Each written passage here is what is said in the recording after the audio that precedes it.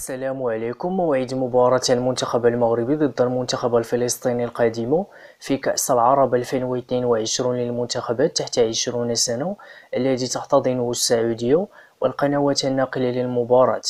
يحتل المنتخب الفلسطيني المركز الأول في ترتيب المجموعة السادسة من كأس العرب 2022 للشباب بشراكة مع المنتخب المغربي برصيد ثلاث نقاط لكل منهما وسيواجه المغرب فلسطين في الجولة الثانية من دور مجموعة كأس العرب للشباب يوم الخميس 28 يوليوز 2022 على ملعب استاد نادي ضمك بخميس ماشيط.